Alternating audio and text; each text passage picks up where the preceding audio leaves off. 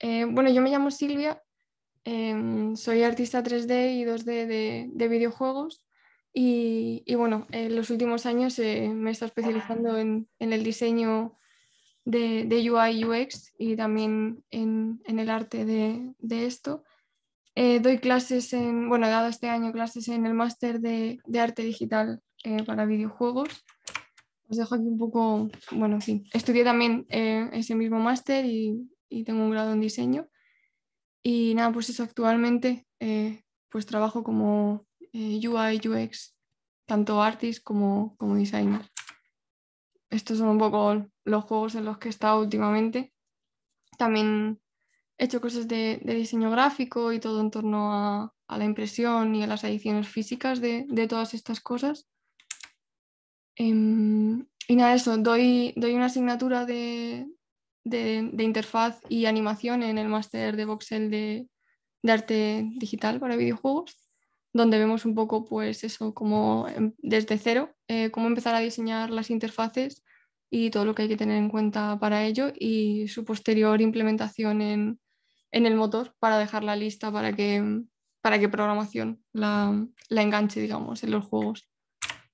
Y os pongo el vídeo de, del máster donde, damos esto. Eh, si no se oye, me, me, avisáis, pero creo que se, se oye guay.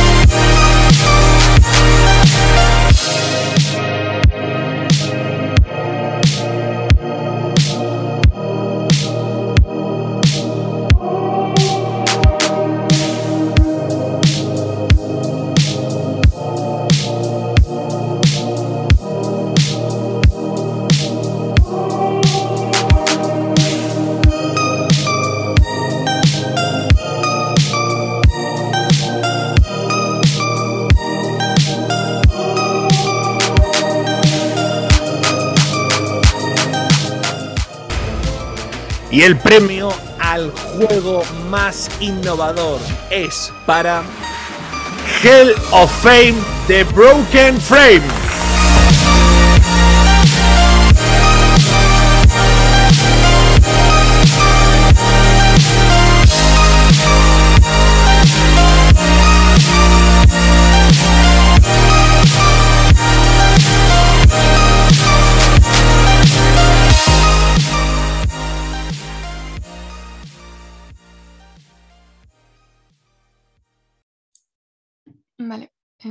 Quito ahora lo del sonido. Bueno, creo que me he desmuteado. Perdóname que es que estoy un poco perdida con el zoom.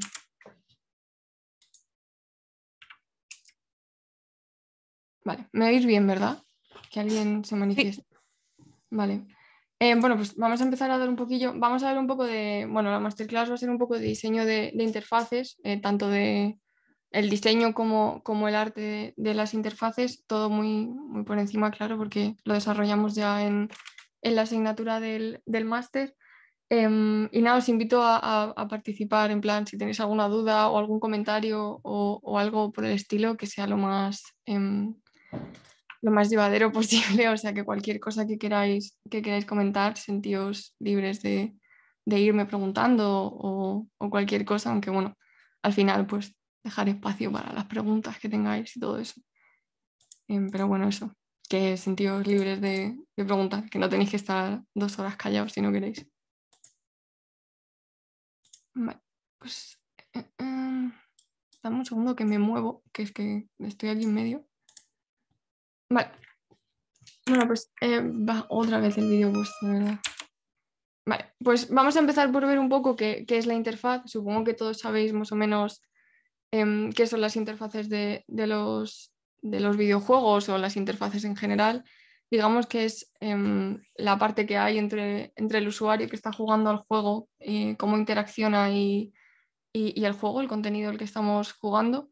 Em, interfaz se refiere tanto a aplicaciones móviles como a videojuegos, lo que pasa que bueno, nosotros siempre lo, lo relacionamos con, con, los videojuegos, claro, porque es, es, lo que hacemos, pero bueno, se aplica, estos conceptos se aplicarían eh, ambas, ambas cosas, tanto a aplicaciones de móviles como a, programas mm, informáticos, como a cualquier tipo de, cualquier tipo de cosas. Entonces, vamos a ver un poco las diferencias entre eh, UI y UX, que son dos conceptos que vienen siempre muy de la mano, pero em, son, son completamente distintos. Siempre se, los engloba porque, bueno, em, tienen que, dependen uno del otro, pero, pero son, distintos.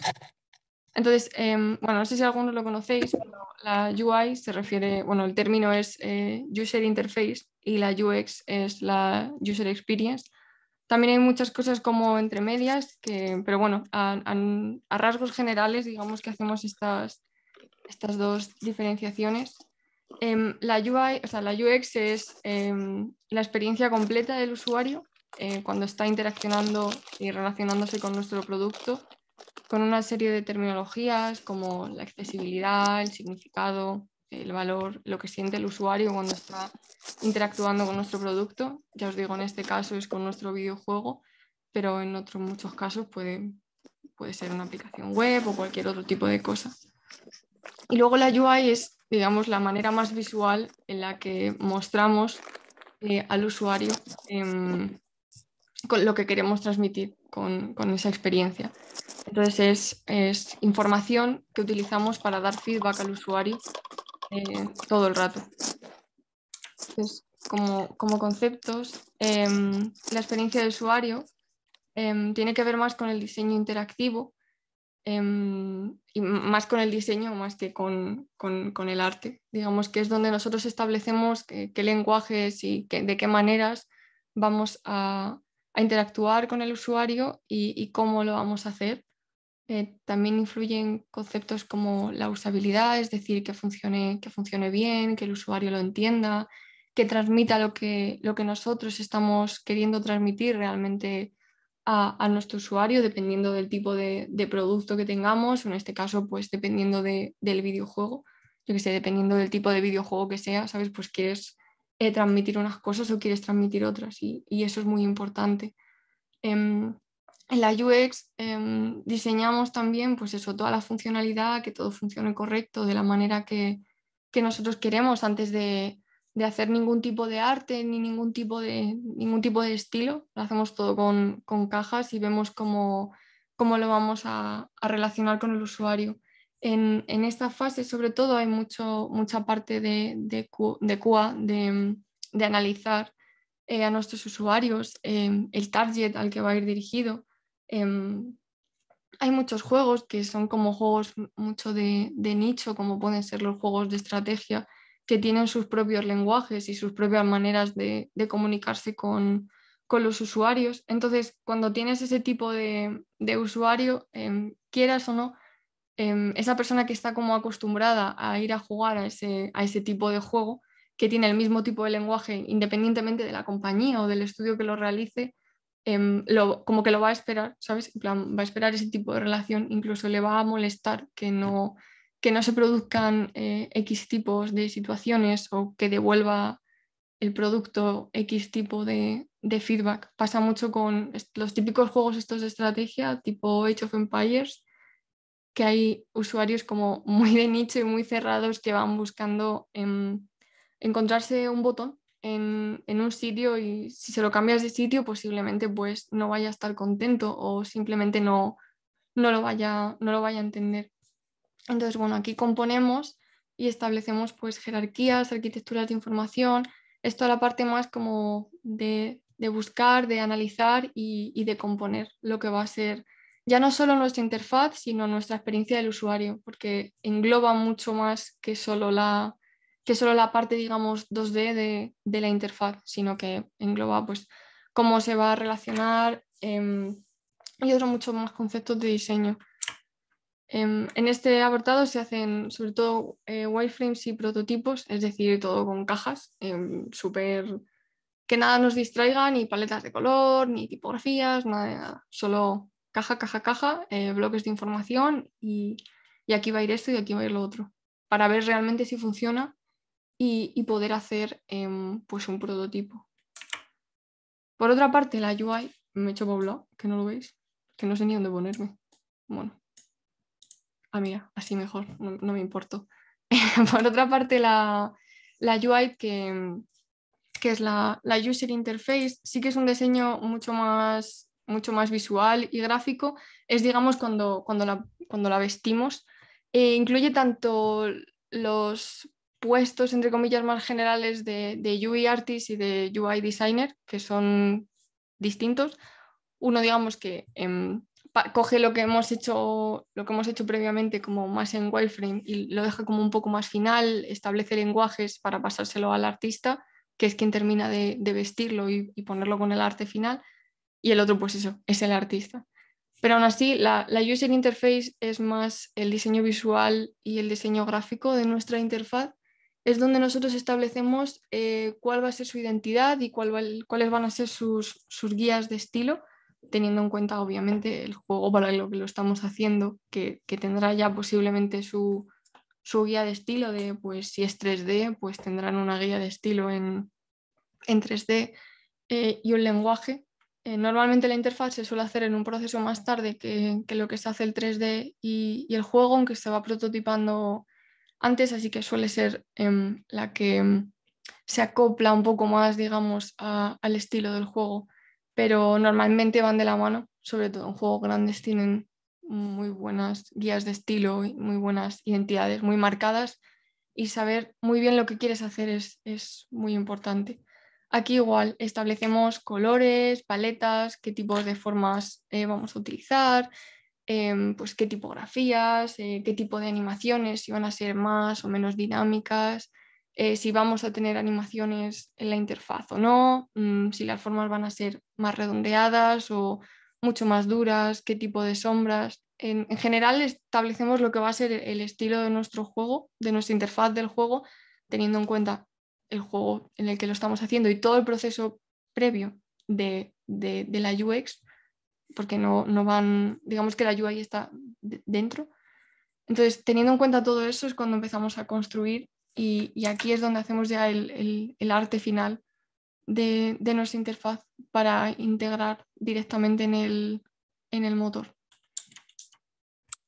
¿Entiende bien la diferencia entre UI y UX? Podéis manifestaros por el chat, lo dejaré por aquí abajo, en una esquinita. Vale. Em, esa es más o menos la diferencia a grandes rasgos. Luego como todo, se, desgrana muchísimo más y hay muchísimas más cosas que entran en juego en todo esto. Entonces ya os digo, vamos a, ver un poco por encima todo porque es, densito. Vale, em, pues dentro de la UX em, tenemos una cosa muy importante que se suele dar normalmente en que se suele dar normalmente en diseño y se deja más al, por alguna razón Em, a un lado cuando, cuando se habla de interfaz em, en videojuegos, que es el, el game feel, em, que es básicamente la sensación de juego, que es la sensación que nos está produciendo un juego cuando estamos interactuando con él. Eh, normalmente, ya os digo, se, suele relacionar más con el, con el diseño en general de videojuegos, en plan diseño de niveles, diseño de, diseño de cómo va a atacar, eh, cómo van a ser las animaciones. Y se suele dejar por alguna razón que no acabo mucho de comprender em, la interfaz bastante de lado y, es súper importante para, el game feel la, interfaz porque al final el usuario va a estar navegando eh, a través de nuestra interfaz en, el juego y se va a estar comunicando prácticamente todo el rato con ella. Eh, aunque, no, aunque no creamos que estamos em, todo el rato comunicándonos con la interfaz, la interfaz nos va a estar dando feedback absolutamente todo el rato. Si recordáis cualquier tipo de juego que, cualquiera, yo que sé, un juego de tipo lucha, em, la barra de vida va a estar moviéndose, si te están pegando, si no estás pegando, si tienes lista una habilidad, la interfaz te tiene que avisar de que tienes lista la habilidad, em, si tienes algo nuevo en el inventario, si has recogido algo nuevo, si el jefe final se está moviendo para la izquierda, para la derecha, pues todo ese tipo de cosas son las que, las que interfieren en el, en el, en el game feel de, en el game feel del juego, mucho aparte de, diseño de niveles o, o de mecánicas o, o, de animaciones. También tened en cuenta que hay muchos juegos en los que hay muy poquita interfaz porque simplemente pues el juego no lo demanda y pues no hay no tenemos eh, mucha interfaz de, de usuario pero hay otros muchos en los que un alto porcentaje de, la interfaz es básicamente donde se desarrolla el juego. En juegos tipo, mm, no sé, Age of Empires, mm, el Two Point Hospital, no sé, em, el Evil Genius, juegos de estos que son más de gestión, el Don't Starve, creo que era también. Todo este tipo de juegos, la interfaz tiene un papel muy fuerte que si no se entiende pierde, pierde alto, alto contenido de lo que quieres transmitir con el juego. Que los menús se abran rápido en, un juego en el que es muy dinámico y necesitas que, se abran rápido. Por ejemplo, no sé, en el Red Dead, cuando estás con el menú radial, que tienes que elegir eh, las armas, o en el Last of Us, que tienes que poder em, igual em, elegir las armas de una manera como muy fluida y, y muy rápida pues todo ese tipo de cosas, si no las tuviéramos, pues haría que nuestro, que nuestro usuario pues, estuviera bastante más descontento de jugar a, nuestro juego.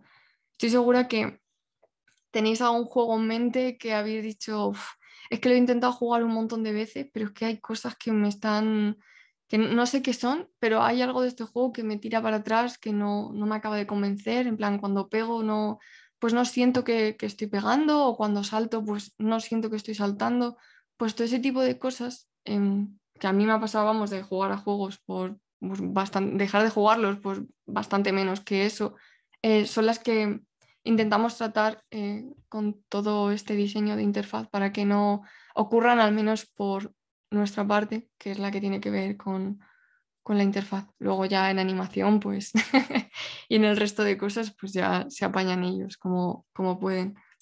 Entonces, vamos a ver algunos ejemplos de de Gamefeel aplicado a, interfaces, como puede ser el, el Dishonored em, el 2, que tiene todos estos eh, como movimientos de cámara y todos estos eh, menús que son tan dinámicos en todo el juego y acompañan como toda la guía de estilo y, toda la estética del, del, juego.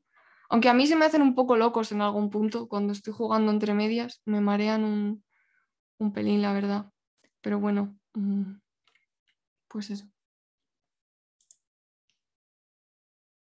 El Hollow Knight, por ejemplo, el, sistema que tiene de, pues de, cuando, de cuando se está luchando, de cuando pega, eh, lo de meterle como el slow, el, ralentizado al personaje cuando está a punto de dar un golpe, pues son pequeñas cosas que, que al final son, son un todo.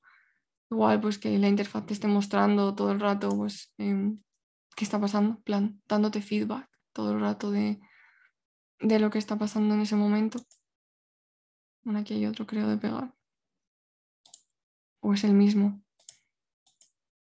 Vale, el Persona 5, que no sé si lo conocéis alguno, pero en todo este tema de interfaces, eh, he, hecho, he hecho spoilers, lo siento. Bueno, este se oye, creo la interfaz es exactamente igual que el juego. está como muy conseguido dar todo ese. todo ese. Mm, todo ese feedback visual que te hace estar como en un todo.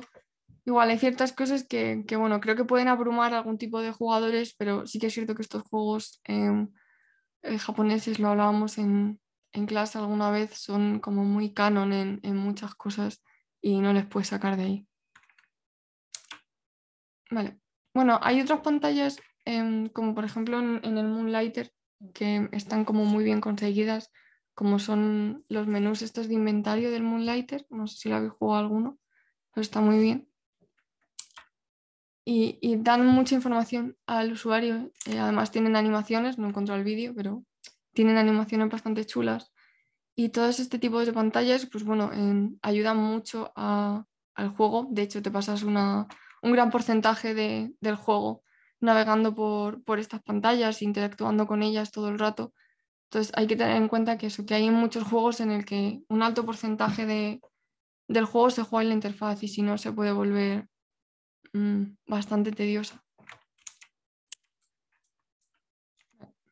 Aquí, más o menos, ¿queréis aportar algo? No sé, algún juego que digáis qué buen game feel tiene esto me he acordado de este juego que me molaba un montón.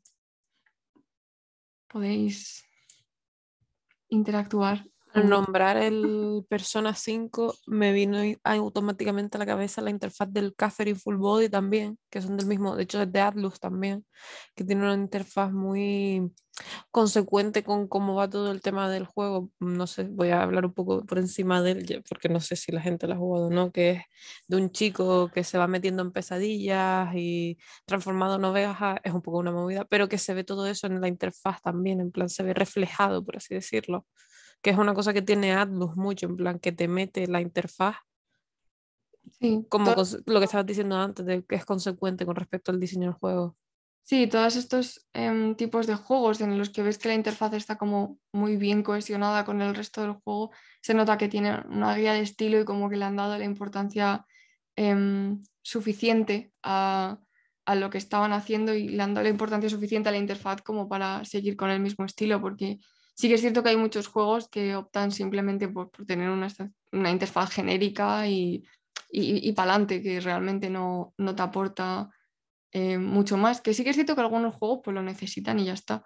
Em, y son muy canon, no sé, los Call of Duty pues tienen una interfaz pues normal, em, plana, em, sin más. O sea, no es algo memorable que digas, ¡buah, qué, bonito es esto, ¿no? O sea, el rollo, es que me acuerdo de este juego perfectamente, pero cumple su función, porque al final em, sí funciona, em, pues funciona. Pero sí, todos estos tipos de juegos, sobre todo los japoneses, siempre se curran mucho las transiciones y, los efectos y como todas las distorsiones en, las interfaces. Em, voy a buscar este que han dicho por aquí. perdón, es que soy un poco pato con el zoom. Remember Me. Remember Me se llama. No.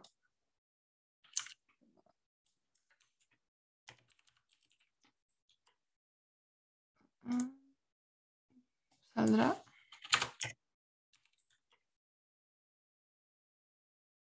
Ah, vale, ya sé qué juego es este. Pero estos son los mismos que... Este es de Capcom, ¿no? Bueno, es que hay algunos juegos que lo de la interfaz... Mm. A ver, digo, a ver si encuentro alguna imagen por aquí.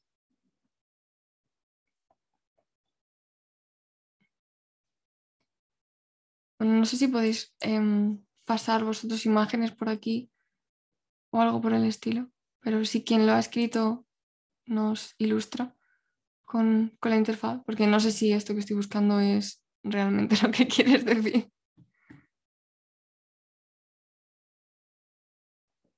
Luego hay interfaces que, bueno, en fin, pues decisiones estilísticas que no se parecen en nada con, el juego, pero yo personalmente agradezco bastante que, las integren también con, con, los juegos. De hecho, está muy bien cuando no te das cuenta que, o sea, cuando una interfaz funciona tan, tan asombrosamente bien que, no te das cuenta realmente de, que está ahí, que no es algo que se te hace tedioso a la vista todo el rato. Eh, no sé si el juego es ese, eh, si no, pues eh, nos lo pasas ahora después. Continúo con cosillas de UX. Vale, bueno, estas son unas pocas cosas que hay que tener en cuenta cuando hacemos como em, nuestra UX o al menos cosas que hay que tener en cuenta en general. Em, está bien saberlas aunque seas solo artista, en plan de interfaz, porque está bien tenerlas en cuenta. Eh, como conceptos como la composición y, la jerarquía de información, eh, todo el tema de, de los bloques de elementos, de, saber cómo poner, dónde poner bien un título y dónde poner bien un subtítulo o una caja de texto, que parecen cosas como muy absurdas, pero, pero hay que tenerlas bien en cuenta, en plan, cómo, cómo gestionar bien todo, toda esa, toda esa mm, información. Em, cosas como legibilidad, plan, saber que nosotros en el mundo, al menos occidental, leemos de izquierda a derecha y cuando estamos en la derecha, o sea, arriba a la derecha, bajamos abajo a la izquierda y abajo a la izquierda, vamos abajo a la derecha. Es el recorrido natural que, hace nuestro ojo. Entonces, componemos teniendo en cuenta em, como esta Z para, para distribuir eh, los bloques más importantes en nuestra, en nuestra interfaz em, o no. Aquí, por ejemplo, que esta es la del, la del Zelda, pues lo más importante que es la vida em, y digamos los recursos que, estás teniendo los tenemos en, el bloque de arriba a la izquierda. Eh, arriba a la derecha creo que aparecen también más cosas en algún punto, lo que pasa que en esta captura no. Y abajo a la derecha tenemos el mapa y, las cosas que te vas encontrando, que es como lo menos importante. Ah, ah, ah. El juego de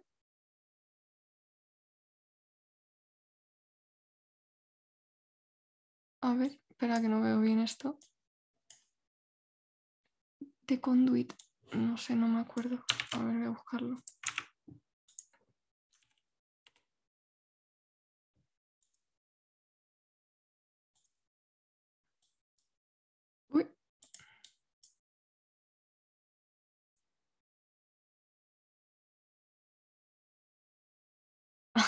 el Halo Infinite. Sí, em, a ver, hay muchos juegos que eh, te permiten modificar la interfaz. De hecho, luego es un dolor de cabeza porque muchas veces tú eh, colocas todo con, una razón.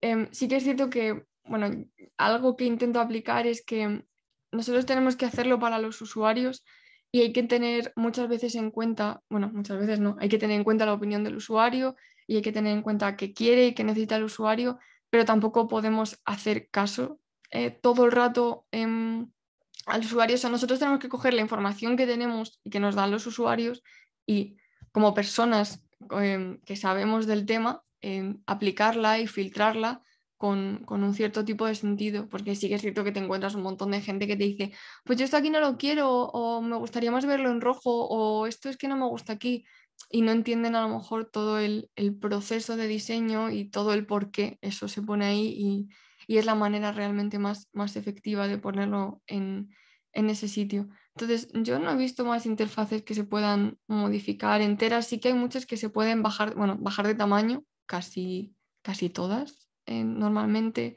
siempre es una de las cosas de accesibilidad, poder aumentar y, bajar el tamaño de, de, nuestra interfaz, incluso cambiarle, bueno, el modo daltónicos, que es súper importante, y, cambiar algunos bloques, pero sí que es cierto que yo, entiendo que, no está más extendido lo de poder em, mover em, los bloques al antojo porque es un dolor de cabeza y una locura, seguro. Eh, no he estado en ningún juego que se pueda personalizar completamente el, el HUD, pero ya, te digo que yo creo que a lo mejor en este tipo de juegos sí que funciona, pero no podría ser un, un estándar porque hay muchos juegos en los que simplemente pues no, no funcionaría, aunque entiendo lo del radar en el Halo Infinite y hay muchas interfaces que simplemente me gustaría, no lo sé, que, desaparecieran en algunos juegos.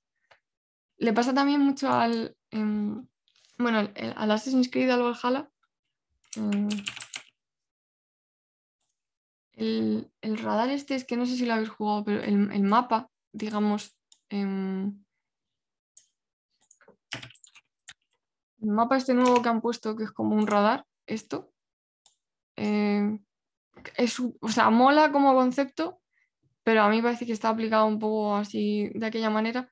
En plan, está guay como concepto, eh, mola, aunque esto ya es más tema de, diseño, supongo, eh, pero cuando empiezas a tener un montón de, bolitas de colores, que muchas veces la diferencia es entre un tenue em, azul y...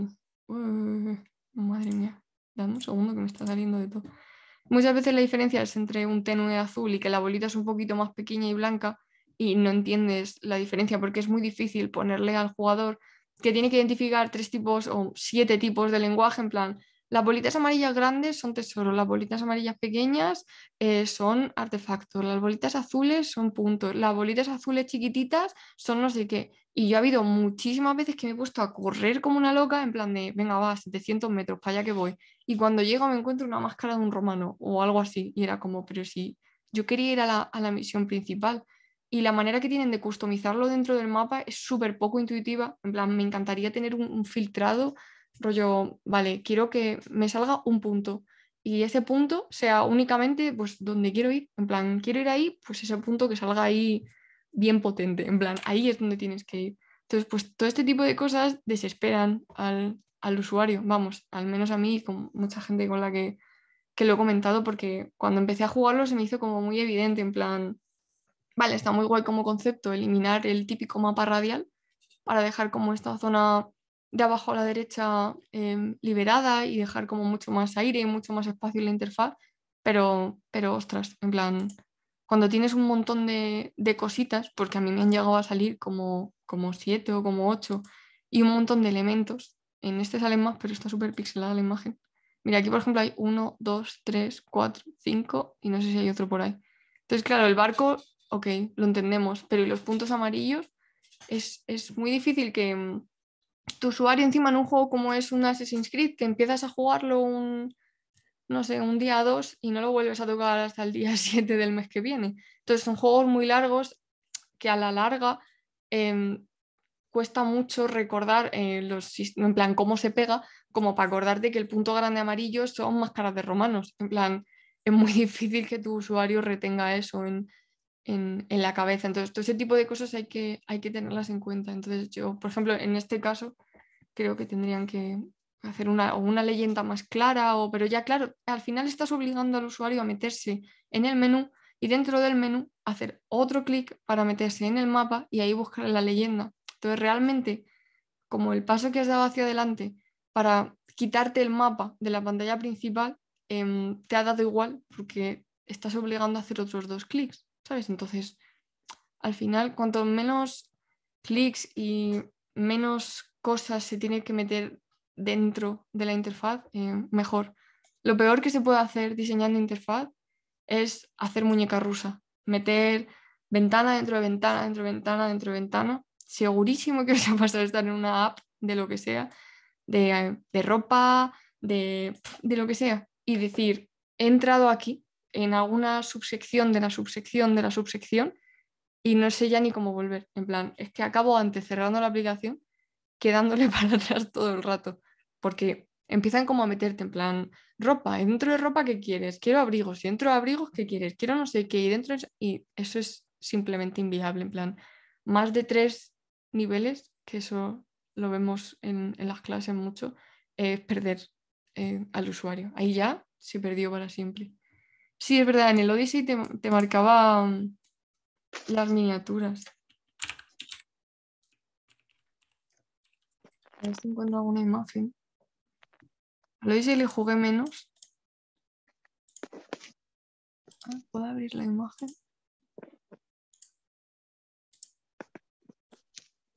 O sea, aquí, uy, uy, uy, madre mía, estoy haciendo cosas un poco de boomer, ¿eh? lo siento. En plan, no entiendo nada. Em, he perdido el chat. Vale. Que si no, no leo. Aquí por lo menos, al menos, o sea, por ejemplo, em, en, los Assassin's Creed, al mínimo que hayas jugado yo creo uno o dos, em, te sabes ya como más o menos la iconografía de las atalayas, e, entiendes que la interrogación es una misión o algo que no se sabe muy bien y, y, que la principal es como el icono más recargado de todo. Pero el del Valhalla es que lo de los puntos de verdad a mí me mató. Mm. O sea, aunque, bueno, sí, en el modo explorador. Sí, creo que se podía modificar además como rollo el radio al que te encuentran las, cosas, pero aún así el tenerte que meter. Es que si no mal recuerdo, el, el filtrado que tú tienes en el, en el mapa del, del Valhalla, tienes muchas cosas, en plan, en, el, en la memoria del, mapa. Em, ¿Dónde estaba? Es que venía como en una parte inferior, pero no era esto. Que era como algo así. Pero no me acuerdo dónde puedo encontrarlo. Bueno, el caso es que en, el, en la leyenda del mapa te venían un montonazo de cosas. Porque es que me acuerdo de verlo y decir, tú, pero esto es una locura. Yo, yo no me voy a acordar mm, de esto en la vida.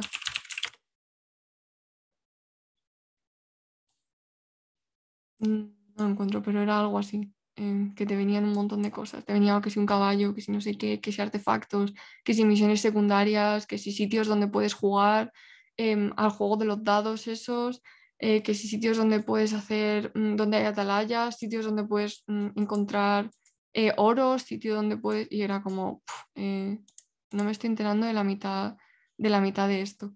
Entonces hay que intentar em, eso, dejarle al usuario muy claro.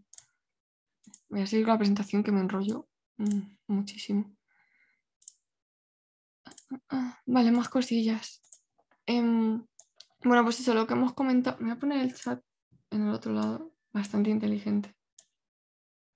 Vale. Em, pues eso, los niveles de profundidad, lo que comentábamos de, de, de las muñecas rusas, estas típicas. eh, tener clasificaciones que, que no sean pues una locura, que digas, Em, hay que tener en cuenta como, bueno, en, clase aprendemos com- cómo manejar esto y cómo tener tips y tal, porque es muy complejo, la verdad, a la hora de diseñar, pero no sé, no encontrarnos con una línea así que vaya separada en, en 40 botones. Aunque sí que es cierto que todas estas cosas que vemos muchas veces, veréis que muchos juegos simplemente no se cumplen por lo, o sea, no se cumplen por lo que hablábamos antes de, de los estándares. Hay juegos en los que mm, simplemente te tienes que rendir y, y entender que ese tipo de usuario el que estás trabajando mm, lleva jugando 20 años ese tipo de juego y lo quiere así. Y bueno, sí, puedes hacer algo nuevo, pero si lo que estás haciendo es rollo copia de lo que, o sea, si estás haciendo el Age of Empires 7, em, tienes que tener en cuenta que ha habido, va a haber, la mayoría de los usuarios que van a jugar al 7 han jugado los 6, entonces eso tienes que tenerlo siempre en cuenta. Luego, pues no, no sé, más cosillas, utilizar las áreas de foco, de pues saber mm, nuestro personaje qué va a hacer, va a disparar con una pistola o una mirilla, rollo Call of Duty, vale, pues va a estar en el centro de la pantalla, eh, nuestra visión prácticamente todo el rato, entonces no podemos eh, molestarle con información de interfaz en el centro de la pantalla. O va a jugar en los laterales por alguna razón, aunque lo más normal es jugar en el centro, vale, pues no vamos a, molestarle en los laterales lo que hablamos antes de lo del nicho y el target del, del usuario. Em, muy importante avisar eh, al usuario de, de los cambios de, la interfaz, em, de todo lo que está pasando todo el rato, aunque em, la interfaz básicamente es para eso, entonces ya le estamos informando todo el rato, pero hay eh, juegos como el LOL, es muy evidente que hay como muchas cosas moviéndose mm, mucho tiempo, hay mucha información eh, todo el rato de qué está pasando y, eso el usuario lo necesita. eh, necesita saber si has matado a alguien, lo he matado o no lo he matado o qué está pasando. Menos cuando te metes en, en peleas grupales que ahí ya te pierdes del todo, ¿no? Pero el resto del tiempo tienes que informar todo el rato al usuario de, de lo que está haciendo, básicamente. Y bueno, proporcionar pues, las- lo que hemos hablado de las direcciones de lectura y darle todas las ayudas necesarias a, a nuestro jugador, em, tipo controles, tipo rollo pulsa X, pulsa Y, eh, muévete a la derecha, muévete a la izquierda, eh, mapas de calor para moverte a un lado, moverte a otro, todo lo que veamos que, que es necesario. Muchas veces ya os digo, esto simplemente se hacen en, en muchos testing de QA, eh, cuando ves que es la octava persona que no encuentra la, la puerta para dónde ir o, o que no está entendiendo lo que está haciendo, pues ahí es cuando le tienes que dar una vuelta ahí. Hay mucho testing en, bueno, en los juegos en general, pero en la interfaz sobre todo. Creo que os había puesto alguna cosa más por aquí. Vale, esto es un poco em, muy rápido, pero damos, ya os digo, en, en clase composición bien. Em, pero un, un po- un poco para señalar, bueno, lo típico, ¿no? Si alguno habéis estudiado foto o algo por el estilo, para dar composición, la ley de los tercios, los golden ratios.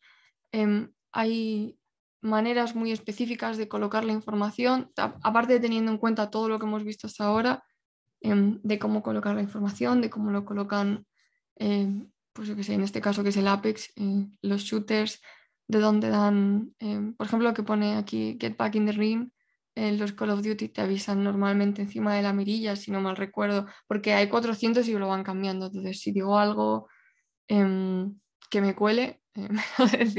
Pero si no mal recuerdo, en todos los shooters te pone has asesinado a no sé quién tal, o en los juegos online se utilizan siempre como las mismas zonas para las mismas cosas. Em, intentamos evitar siempre el centro de la pantalla y si lo usamos suele ser solo para mensajes emergentes que se van muy rápido con el tiempo, pero para mm, bloques de información constante em, evitamos todo lo posible el centro de la pantalla. Voy a mirar el chat el remake del Pokémon Diamante y Perla. A ver, no sé cuál es em, la función del Poké reloj.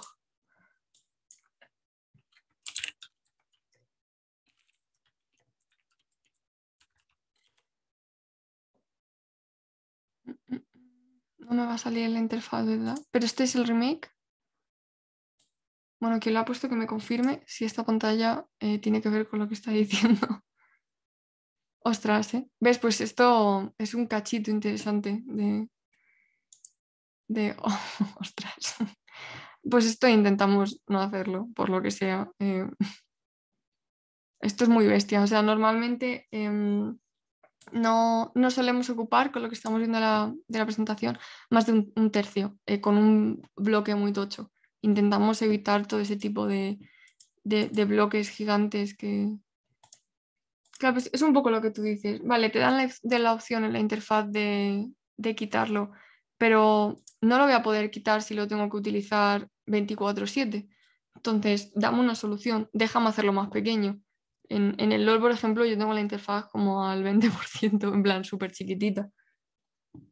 Pero esto es un tremendo. Bueno, la imagen que había cogido antes, me da igual si te dejaran, aquí sí que me molaría, por ejemplo, que te dejaran como recolocarlo un poco más, lo que comentábamos antes de, de poderte modificar tú el hat, en plan, hacerlo más pequeñito y recolocarlo como un poquito más arriba. De hecho, me está dando muchísimo toque porque no ocupa un tercio ni tampoco ocupa menos, entonces está ahí como, como encajado mal. Mm, me está dando bastante ansiedad, en plan de tenerlo ahí arriba. Bastante terrible. Bueno, el Hey Listen es simplemente. El Hey Listen y mm, los advisors de los videojuegos típicos de. ¡Ey! Tienes que hacer esto. ¡Ey! ¡Ey! ¡Ey! ¡Ey! Tienes que hacer esto. Hasta que no construyas esto, no puedes hacer esto. ¡Ey! ¡Ey!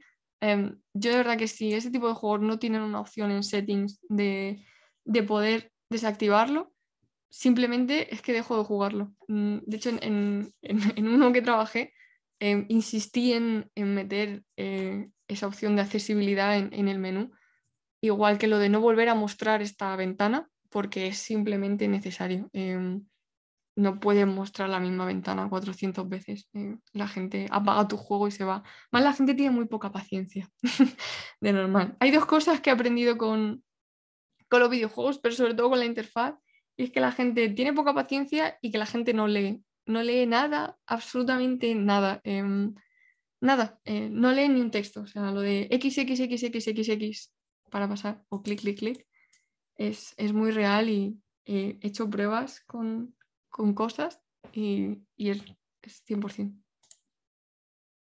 En la interfaz de los Sims, em, de los Sims 4, sí, los Sims 4 lo tengo bien trillado. Sí, todas estas cosas que te dejan como personalizar la interfaz hasta, hasta cierto modo, no sé por qué pongo in-game y no... Aunque he de decir que hay, hay cosas que no me gustan mucho de, la interfaz de los, de los Sims. Eso que, comentas de, las notificaciones, ocultarlo, eh, lo comparto 100%. Sobre todo cuando una notificación es recurrente, en plan, llevo jugando a tu juego 300 horas me lo he pasado cuatro veces. Creo que sé perfectamente ya dónde van a estar situadas y dónde van a estar estas cosas. Por eso hay que darle esa opción de, dependiendo siempre del juego, claro, pero siempre hay que darle esa opción a los, a los jugadores porque se pueden desesperar muy facilito. muy, muy, muy facilito. Esto de los news está, está muy bueno, no salen las notificaciones, pero me gustó mucho cómo limpiaron em, toda, toda su interfaz. Em, está bastante limpia. Y esto de aquí abajo de poder seleccionar la parte que quieres de, de la casa, parece una tontería, pero estuve justo analizándolo hace, no sé, un, año o algo así. Y viendo por ahí había un estudio como de gente que, que, que hizo, hicieron como una encuesta y la gente lo agradecía cuadrados sin... De hecho, cuanto más básico mejor, porque menos como que te influye, porque muchas veces si lo intentaba hacer como más bonito, rollo, uff, pues lo voy a meter así con, con, con, esto y este tono y no sé qué, y ya estás como influido en plan de, joder, pues es que me gustaba cómo me estaba quedando en morado, cómo me estaba quedando en azul. Entonces, cuando, cuanto mejor, o sea, cuanto menos tenga, eh, muchísimo mejor, porque así no estás condicionado luego al pasar al arte en, en, nada más que, el estilo del juego por el que estés haciendo tu, interfaz. Así que bueno, por aquí dejamos un poquillo la UX y vamos a pasar a la parte más de, User Interface, que es como la, más resultona. Eh, la, pobre UX es, es visible, en plan, es muy importante, muy, muy, muy importante, pero a la vez es, es muy invisible porque al final lo que nosotros vemos es, el conjunto de, todo, por eso está, está guay los portfolios de UX, porque son complicados de, gestionar, plan, no sabes qué, poner más allá que la, demo del juego y confiar en que, en que vean que va guay, bueno, aparte de tu currículum y tal, es un poco broma, pero, pero no tanto en general. Entonces, bueno, dentro de la interfaz eh, vamos a ver algunos que otros conceptos que son muy importantes en, general. Eh, por ejemplo, la iconografía. Bueno, creo que todos sabéis, em, por poco que, sepáis que es un icono, em, que bueno, tengo aquí la definición, que es un conjunto de imagen, pero bueno, básicamente eh, la iconografía lo que suele hacer sobre todo y es muy importante es que se nutre de lo que nosotros llamamos imaginario popular, es decir, lo que tenemos ya metido en la cabeza y muchas veces ni siquiera somos conscientes o no nos damos cuenta en, videojuegos pasa súper, súper, súper recurrente em, y la iconografía es súper importante. En, un juego eh, yo hice un testing eh, un poco troleo, que es que cambié el icono de guardar partida por cargar partida y ahí me di cuenta que nadie lee porque todo el mundo se cargó su partida por haberlo cambiado de lugar em, y porque el icono estaba, estaba mal. Entonces, em, nosotros solemos guiarnos bueno, solemos no, nos guiamos mucho antes por imágenes que, lo que nos podemos guiar por texto. Entonces la iconografía es muy, muy, muy importante en, videojuegos. Y hay que tener em, muy en cuenta lo que nosotros tenemos ya como en nuestro, en nuestro bagaje eh, cultural. También tenemos que tener mucho cuidado, que esto también lo vemos en las clases, dependiendo de para qué región o para dónde estamos desarrollando eh, nuestro juego porque sí que es cierto que la cultura y el imaginario popular cambia mucho dependiendo de un sitio o de otro. También influye mucho dependiendo de, mm, la edad em, a la que lo estemos haciendo. Eh, no tiene el mismo imaginario eh, popular una persona de 15 años que una de 40, y por lo que sea. Una creció con, con discos en los ordenadores y la otra con la Play 3. Entonces, es muy distinto em, muchas veces em, el típico disquete que se ponía antiguamente para cargar. Em, hay chavales que no saben lo que es. Entonces, utilizar ese icono pues, se ha vuelto, por ejemplo, un poco más arriesgado porque ya, aunque siempre se sigue sabiendo un poco lo que es, llegar a un punto en el que a lo mejor pues, pues simplemente pues, desaparece. Entonces hay que tener muy en cuenta todo, todo este tipo de, de cosas y una cosa muy importante es adecuar nuestra iconografía al estilo de nuestro juego. De los últimos a los que he jugado y le he echado un ojo, para mí el que mejor lo hace es el Evil Genius 2. No sé si lo habéis jugado. Es el último que han sacado de... El anterior es de hace muchos, muchos, muchos años. Pero cómo tienen adaptada la iconografía al, estilo de su juego es súper guay. Em, además, bueno, em, este chico em, tiene en su, en su la, la iconografía entera y un montón de cosas de Evil Genius. de este juego y lo tiene así como colocado y, está súper guay ver y analizar la paleta de colores que, utiliza, em, el, tipo de, ¿no? de, bordes, de cuándo mete curvas, cuando no mete curvas, siempre mete, por ejemplo, las mismas como las mismas chispitas en todas partes, eh, las mismas exclamaciones en todos los lados, eh, suele meter la misma angulación. Y en este caso, por ejemplo, em, los iconos son así como un poco desenfadados, siempre tienen la misma sombra por detrás, siempre tienen los mismos colores. Entonces, está muy guay, me parece, em, adaptado. Además, tienen unos, tienen unos conceptos como muy extraños en este juego. Entonces, es, muy interesante ver eh, la iconografía que tienen, que tienen un tono bastante así graciosillo en, en el juego. Entonces, bueno, si los veis, hay un montón y y son súper chulos, súper limpitos y la verdad es que son muy legibles. Hay muchos que, mm, que, son un poco así, de aquella manera, pero bueno, también es muy difícil hacer eh, iconografía, em, os lo puedo asegurar, es, te explota la cabeza, mm, porque hay cosas que dices, simplemente no sé. Pero, por ejemplo, mm, saca mucho a la gente cuando le pones un icono en el que tiene que ir a su casa y no le pones un home de casa normal y le pones otra cosa. Porque nosotros mentalmente ya esperamos algo. Em, esperamos que si, si tenemos un mail haya un icono de un sobrecito, por alguna razón.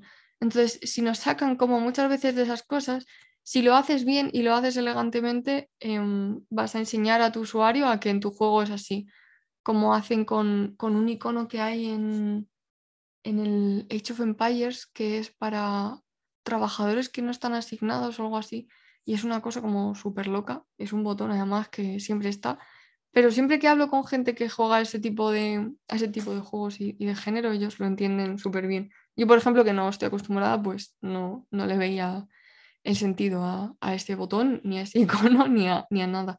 Pero luego hablando con gente que sí, pues lo ven como súper lógico. Entonces, por eso es muy importante pues, hacer todo ese research eh, anterior y, y, informarse informarse muy bien de, para, para, qué estamos, em, para qué estamos trabajando.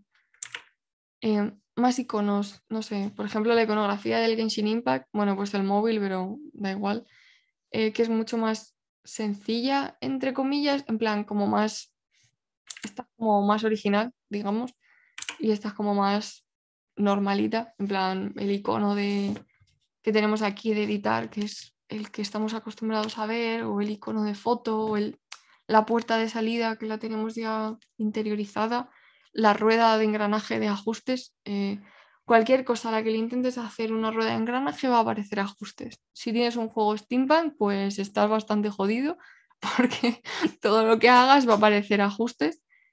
Pero, pero es que lo que, eh, lo que hay es a lo que nos hemos acostumbrado, al igual que, bueno, acostumbrado no, está, hecho por una razón y, venimos de, em, bueno, en el, máster vemos más de iconografía y de dónde viene, en plan de, diseño de, hace muchos años y que la iconografía desde los aeropuertos hasta las señales de tráfico tiene su, su porqué. Entonces, en todo este tipo de cosas, en lo que más sueles poder jugar es cuando son conceptos originales. Por ejemplo, esto de aquí del, del Genshin cosas que son tuyas de tu juego y no interfieren tanto en, acciones que el usuario tiene que, pues que conocer em, sí o sí. Pero bueno, em, también si nos fijamos hay, hay iconos que se ven bastante mal, en plan el de la cámara.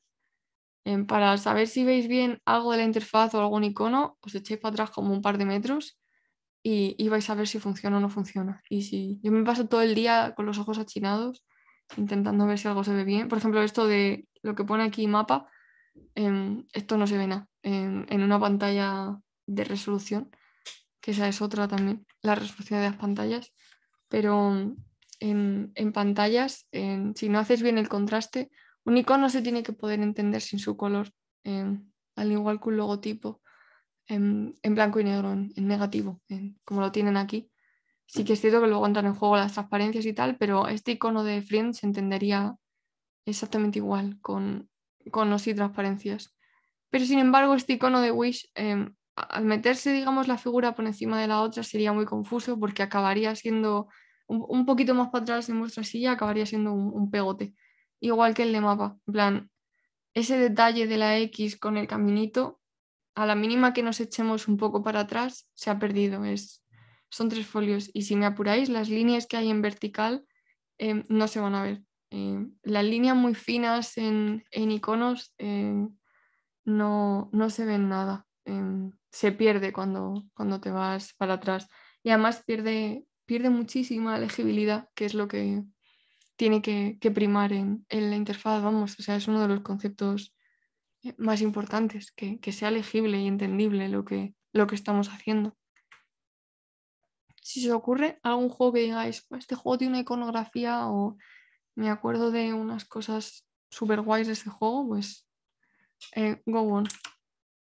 Luego hay juegos un poco más estándar, que es lo que comentábamos, que siempre utilizan como el mismo tipo de lenguaje y que sus iconos siempre pues, son iguales. Eh, no iguales, pero sí, plan, eh, el hecho de mostrar el recurso de la comida con, con, una imagen, digamos, como, como renderizada eh, de un cacho de comida, como este tipo de iconos mucho más realistas, con un render muchísimo más pulido, entre comillas, y que son muchas de nicho. sí que es cierto que el, el 1880 este, los iconos, o sea, la interfaz se ve mucho más limpia y mucho más moderna, pero este tipo de juegos la, la interfaz se ve pues antigua, es este tipo, este tipo de estilo así mucho más arcaico, más antiguo, que se está intentando como adaptar, como en este del, del 1980. Pero es el mismo estilo eh, de iconografía. Yo no me imagino a un Age of Empires con, no sé, la iconografía del Genshin siendo Age of Empires. Otra cosa es que sea un juego de, de estrategia que quiera tirar por el estilo y por la guía de estilo de, del, del Genshin, por poner un ejemplo.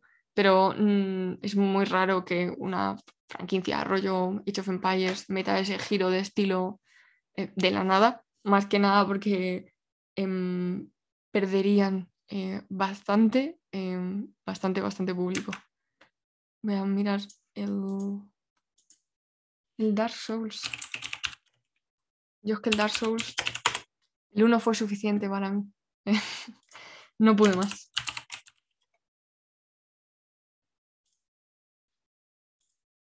¿Te refieres a, bueno, sí, igual, eh, no ha cambiado mucho entonces del, del Dark Souls 3 al, al 1. Eh, la iconografía está, que básicamente no, no es iconografía, son, son renders de, de, los objetos.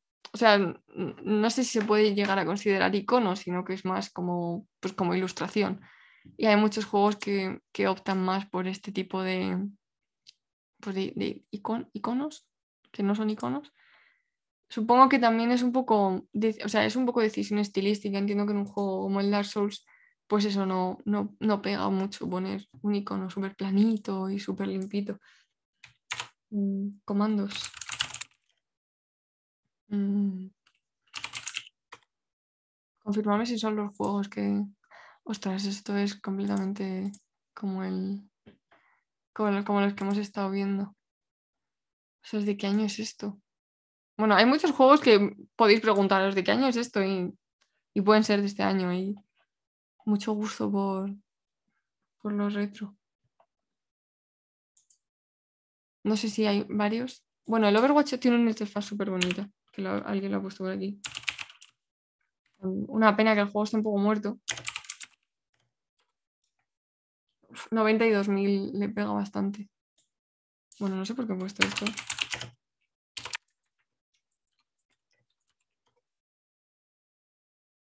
Los del Overwatch, si no mal, si no mal recuerdo, los que estás comentando son los del menú. Los que molan un montón, por ejemplo, los, los logros de, de, Overwatch y cómo lo adaptan todo. En plan, con este tipo de iconografía está súper chulo. A mí me, mm, me gustaba mucho. Otra vez que me he silenciado porque mm, se me están abriendo cosas que no sé. Ah, vale, perdón. Eh, no me hagáis ni caso. Que se me abre la en Twitter.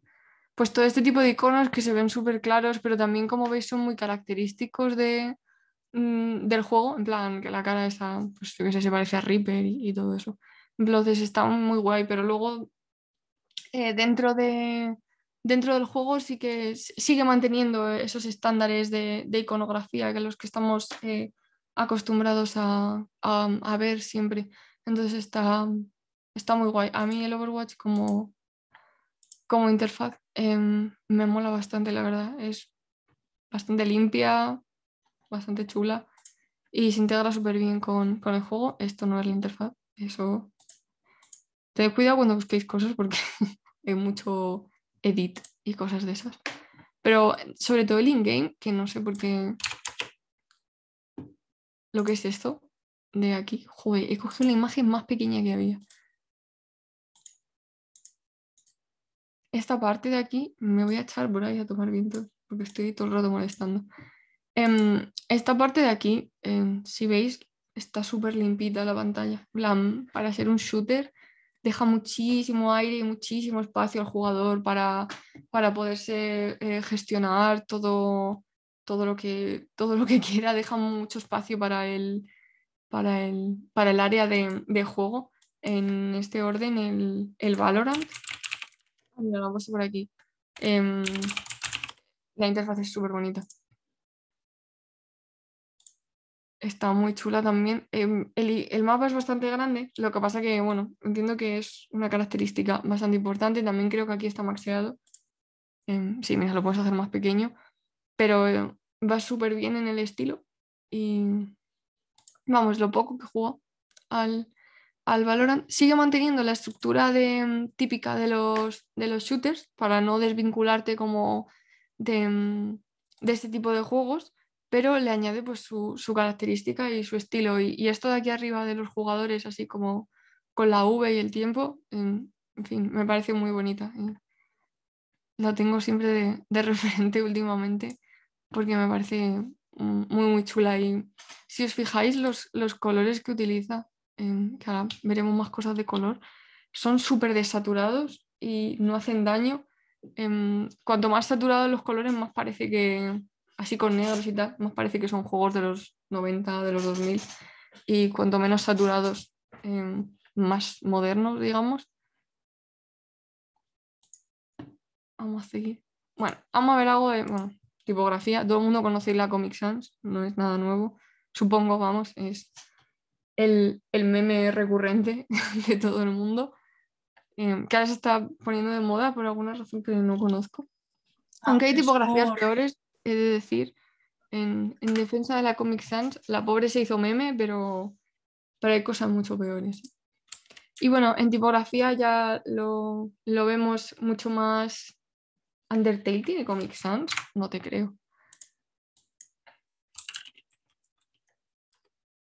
Sí, porque el personaje de Sans, Ah, todo su vale, texto está escrito en Sans, Vale, por Sans. Sans, joder. Digo, Y no de creo. hecho también la Papyrus también sale porque Vale, el bueno, personaje pues, de Papyrus todo está escrito eh, en Papyrus. Pues me ha petado la cabeza. Em, hablamos mm, mucho y muy extendido de, de tipografía, pero bueno, simplemente así un poco a grandes rasgos, em, la tipografía es súper importante a la hora de, em, de poner en un juego, em, determina muchísimo la legibilidad, como sea un juego narrativo y tu tipografía, en plan de leer y, y tu tipografía esté mal, estás, estás mm, sentenciado, o sea, es muy importante. Em, hay que saber, bueno, la tipografía es un campo muy amplio, es muy complicado, em, ni siquiera yo, sé, sé tanto, honestamente, es un, cambio, es un campo del diseño gráfico, supongo, muy complicado y hay que, cuando elegimos una tipografía no la podemos elegir al tuntún. em, yo soy partidaria de saber, em, aparte de dónde viene esa tipografía, dónde se lee bien, las tipografías de pantalla no son las mismas que las tipografías que utilizamos para imprimir hay que tener en cuenta pues todo ese tipo de cosas, em, buscar mucho, ver en qué se utilizan, eh, sobre todo eso, ver en qué se están utilizando esas, esas tipografías. Eh, segurísimo que os ha pasado a veces, o sea, em, hay tipografías que están ya como en nuestra memoria, imaginaos ahora que al nuevo Dark Souls le ponen la tipografía de Mercadona, plan, lo vais a ver y vais a decir, tú, em, eso es Mercadona. En plan, no puedo parar de ver otra cosa que no sea Mercadona. Es como cuando ves el logo del Carrefour, que es una C, nunca vuelves atrás en la vida. Es un paso ya que das que de ahí ya no sales. Entonces es muy importante saber en qué, en qué se utilizan eh, las tipografías y en qué la gente lo tiene ya como, como, como metido muy, muy mentalmente. Entonces, bueno, las tipografías las solemos eh, separar en tres tipos, que son em, las sans serif o las de palo seco, que digamos que son las, las, más limpias, rollo, por ejemplo, esta que es la helvética, las que no tienen adornos al final de, de, la, de la, tipografía. Em, las serif, que se estas se suelen utilizar más eh, para cartelería, son mucho más legibles em, y se utilizan también mucho pues, em, para videojuegos, supongo, sí. E, el tipo, no la, la helvética, sino este tipo de, em, tipografía más limpitas.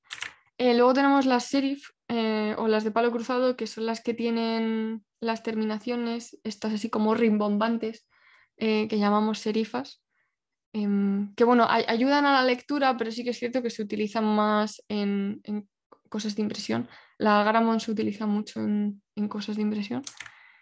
Y las de ancho fijo, que son las que, las monospaciadas, las que parece que las han estirado. A la Courier New no le pasa, pero son las típicas de, parecen de mecanografía, porque todas las teclas tenían que ocupar exactamente lo mismo. Pues, pues esas. Esas son. Em, por ejemplo, ejemplillos em, de tipografías que se utilizan en plan tipografías muy famosas que se utilizan en, videojuegos. Eh, la Trajana o la Trajan se utiliza muchísimo. De hecho, es, no sé, un alto porcentaje de juegos que hayáis visto utilizan la Trajana modificada. Em, rollo League of Legends, rollo WoW, eh, todo este tipo de juegos así como em, fantásticos medievales, podríamos definir, eh, así como de fantasía y tal, em, las, las utilizan modificadas. Es muy normal ver tipografías modificadas, o sea, no es muy raro encontrárselas como tal cual, ¿sabes? En plan, ahí puesto y ya está. A no ser que sean cosas como el Destiny, que son como, como muy limpito. Em, el resto suelen ser, suelen ser con modificaciones para, para nuestros juegos.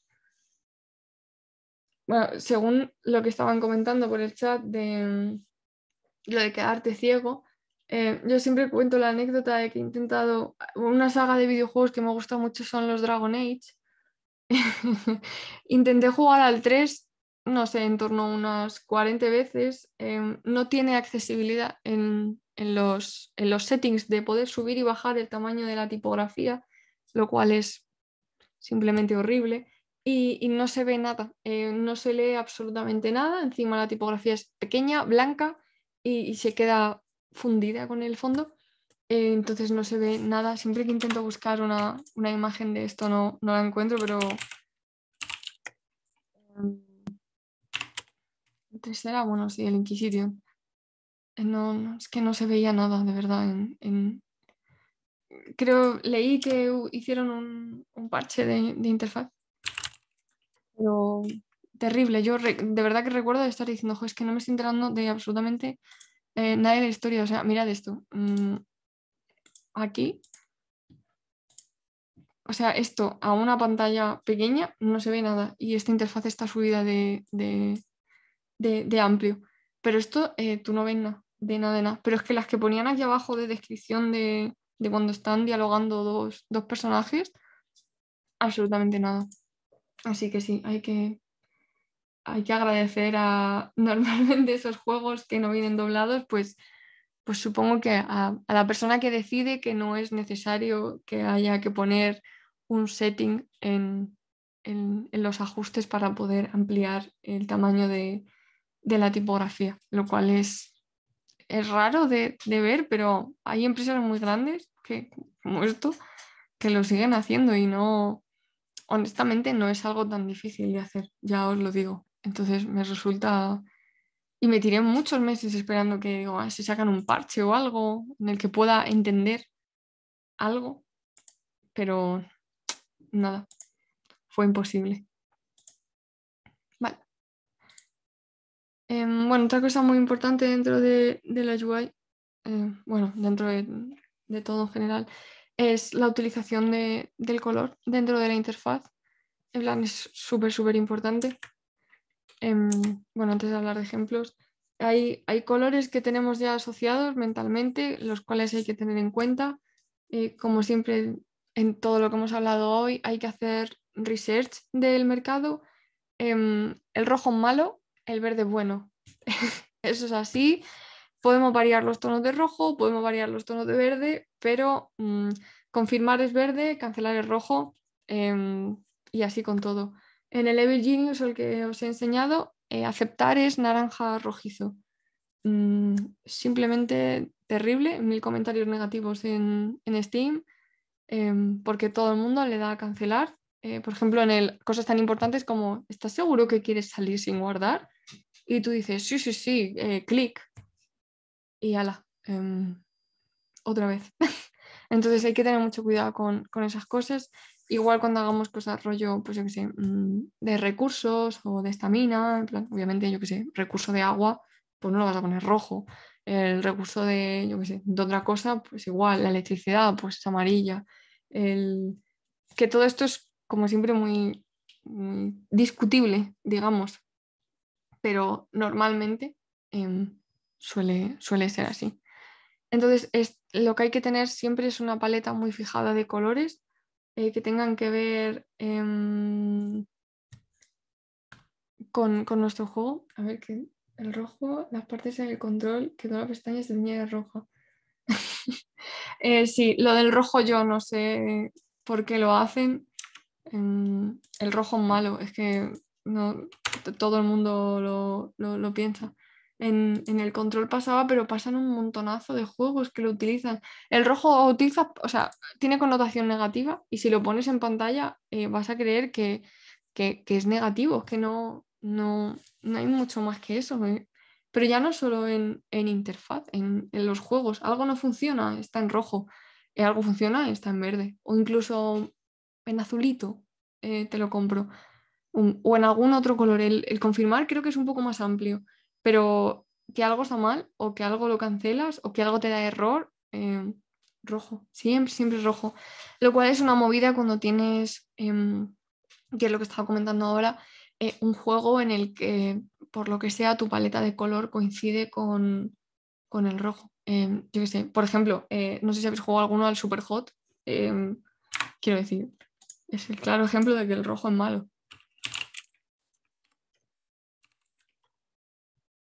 Sea, básicamente es un juego en el que no hay color y lo malo es rojo. O sea, tienes que disparar. Bueno, también muchas más cosas, ¿no? Pero mm, todos los enemigos son, son van de rojo. Entonces, si fueran de verde, no te daría la misma sensación de que tienes que dispararlos. Sería completamente distinto. Entonces, para todo este tipo de cosas hay que, hay que tenerlas en cuenta si un personaje además te sale en rojo, sabes perfectamente que, algo, no, algo no va bien, algo, algo ahí no está funcionando. En los, en los juegos cuando se ponen mucho los, pues todos los overlays, ¿no? todos los, los, resplandores o yo qué sé. En los juegos estos de gestión tipo, pues de gestión de, gestión de recursos, eh, cuando algo no funciona se pone en rojo o se tiñe de rojo. En, los Sims, eh, mismamente, tú vas a construir y te sale en verde donde puedes construir y donde no puedes construir pues te sale en rojo. Entonces, todas esas cosas, em, vamos, eso es como fundamental, en plan, es una, una regla que es así. Entonces, bueno, vamos a ver un par de juegos que tienen como la paleta muy definida y lo utilizan siempre. Em, el Animal Crossing, que seguro que habéis jugado bastante porque fue el juego de la pandemia, al que creo que, em, hasta gente que no jugaba cosas y gente que no ha el Animal Crossing en su vida se lo compró, solo por estar dentro de, la ola. Eh, tiene una paleta de colores súper bonita y la verdad es que la interfaz se, funde muy bien con, con, el, juego. Em, por ejemplo, todo esto, todos estos lo de las cartitas y, y, toda la interfaz dentro del menú, pero igual el mapa queda súper bonito y, en fin, todo el juego en general, he puesto aquí un poco la paleta general pero em, tiene una paleta muy amplia realmente. Lo que pasa es que tiene muy claro, por ejemplo, que los colores pues, son pasteles y, y desaturados. Entonces está, está muy bien, vamos. A mí me parece muy bonita la interfaz de... Tiene cosas, pero no son cosas de, de color, sino de accesibilidad. Por ejemplo, em, no sé si alguno habéis jugado, pero si alguno habéis jugado, recordaréis que no puedes hacer más de, más de un cebo cada vez que vas a craftearlo. Esto es simplemente para tirar la Switch. O sea, te dan ganas de apagar el juego y no volver nunca más. En plan, me estás diciendo que si tengo 40 conchas, tengo que ir ejecutando la animación y crafteando las conchas una por una en vez de hacer 50 a la vez o no poder comprar eh, varias cosas a la vez, en plan, y si quiero 16 plantas en vez de 4. Entonces, ese tipo de cosas em, em, posiblemente lo, lo, digan como que no, que es que es una decisión de diseño, que es una decisión de... A mí me parece una decisión de que, que, que, frustra muchísimo al, al, jugador y por mucho que eh, ames el Animal Crossing, hace que dejes de utilizar esa... Em, e-, esa opción, ¿no? En plan de, coger em, pues las conchitas en este caso. Y aunque puedas adelantar la, animación, como comentan por aquí, es, desesperante si tienes que hacer 30. O sea, mm, y, igual con lo del tema de cocinar, es, un, coñazo. O sea, si metes ese tipo de, mecánicas que ya están en otros tipos de juego, creo que tienes que tener en cuenta eh, por qué mola en, en otros tipos de juego. Entonces, en Animal Crossing tiene cosas muy guays pero ahí, en plan, si, una, si, la mayoría de reviews de, la gente que te está llegando es eso, quizá deberías poner a tus analistas a, echarle un ojo. Eh, quizás no todo el mundo está mal, sino eres tú quien tienes que, adaptar. Creo que es una de esas eh, veces en la que el usuario em, claramente te está pidiendo algo y, y quiere que se lo des y ya está. En más paletas de colores, la del Nier Automata, que no sé si os habéis dado cuenta, pero no se ve el último cuadro en la presentación, porque por alguna razón de mi existencia he conseguido clavar el color del fondo con la del, con la del Nier, pero me parecía muy buen ejemplo de, lo que es el juego y luego la interfaz, que es completamente distinta, pero no. plan, mm, a mí me sorprendió mucho cuando vi la interfaz, porque, o sea, sin haber, habiendo visto mm, cosas del juego y luego la interfaz, eh, me sorprendió mucho que, fuera del, del, Nier, pero me parece muy, muy buen ejemplo. Eh, la paleta de color del juego es, es muy uniforme y, creo que, al menos la, paleta de la interfaz eh, le sigue bastante bien. Em, si os acordáis de alguna interfaz que digáis, este juego es estúpidamente bonito en, temas de color, em, irlo dropeando por aquí y luego ahora lo chequeamos juegos bonitos con interfaz que vaya acorde. Bueno, mm, si hablamos de colores, es que hay que hablar del gris, ¿no? Em, eso es así. Em, bueno, en este caso he puesto solo uno de los niveles, que es el de color eh, rojo. Menos mal que aquí no tienen que decir que nada es malo porque sería un problema eh, bastante grave. Creo que es, es, uno de esos casos en los que si no es el gris, Em, o sea, si no es el tipo de juego del gris, si tú hicieras, no sé, eh, imaginaos unos Sims, pero en los que todo es rojo, en plan, todo es monocromático y todo es en tonos de rojo. Tienes que poner un edificio. Eh, ¿Y ahí qué haces? ¿Sabes? ¿Cómo dices que ahí no puedes poner un edificio? Entonces es complicado, pero bueno, el, gris tiene esa capacidad de, poder hacer ese tipo de cosas porque está, em, está hecho con esa finalidad y, se nota. Entonces, bueno, esta es la paleta solo de, de, este nivel, pero si lo habéis jugado y si no, os lo recomiendo porque es cortito y muy, y muy chulo. Em, que está muy bonito, la verdad. Si os gustan ese tipo de juegos interactivos. Eh, ¿Cuál dice por aquí? A ver, usted no es. Uy, otra vez que he vuelto a cerrar el chat. Bueno.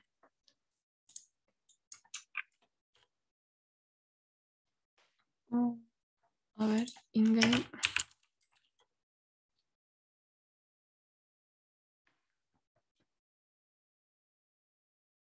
Supongo que es esta, la interfaz. Voy a buscar el chat, lo he perdido. Bueno, supongo que es esta. Me recuerda mucho a todo este tipo de, de juegos que siempre acaban teniendo este tipo de, interfaz, rollo más eh, novela gráfica. Pero no sé si es este al que te refieres. Mm, Vale, pues mientras la busques, eh, sigo con este. Em, no sabes cuál es el Deadloop, es em, relativamente nuevo, pero me parece impecable em, cómo tienen gestionada la UI. A ver, como todo, pues tiene sus cosas, ¿no? Pero este juego, mm, la paleta de colores la tienen súper bien llevada. Como han cogido han dicho, vale, queremos desde em, naranjas y tierras hasta morados, que son complementarios, vaya, qué sorpresa y funcionan bien. Y, y las pantallas, están, es que están súper, súper bien. em, son súper bonitos. A ver.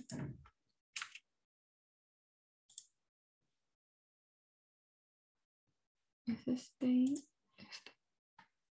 Ah, vale, pero sí que era ese juego. Bueno, va muy con el rollo, ¿no? Parece del, del juego. Me recuerda al Persona y todo este tipo de juegos eh, que tienen siempre como este estilo visual que creo que si vas a jugar a, este tipo de juegos es lo que vas, lo que vas buscando em, en parte. El Oblitz.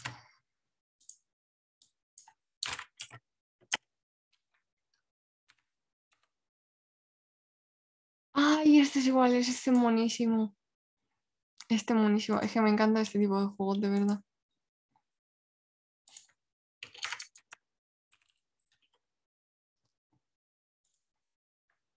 Es que sí, es que la interfaz es que le queda súper bien. Además mola como le meten en como el, el reborde este, o sea, cómo utilizan como el azul este oscuro eh, para meter el contraste y que se vea bien, que es el que tienen también en el logo, pero luego utilizan toda su gama de, de colorinchis. Es- está muy bien este. Me lo voy a guardar. Tiene buena pinta. Ay, qué monos, por Dios. Bueno, es, es nuevecillo entonces. No lo he jugado ni nada. Tiene buena pinta. Em, ejemplo malo de colores sin interfaz. Bueno, a ver, malo, entendedme. eh, tampoco he venido aquí a jugar a nadie.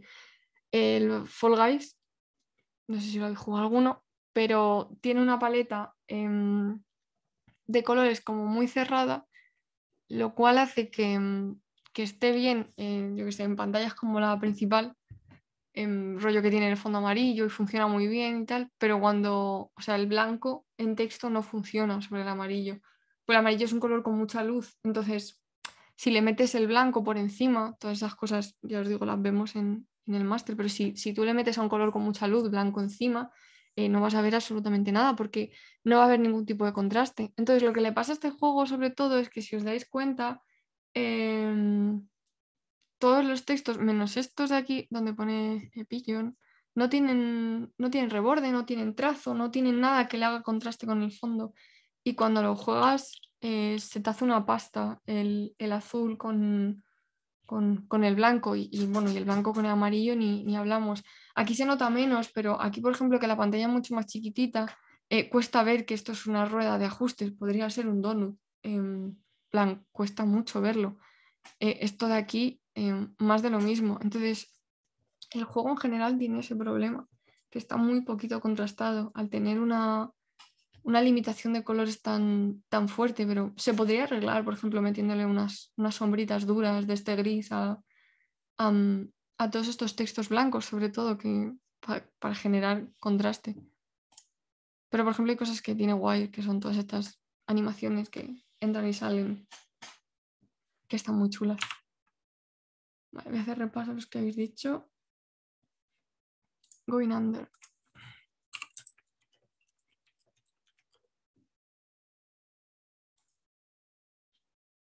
Esta página, si no la conocéis, está súper chula. Bueno, esto y unas cuantas más.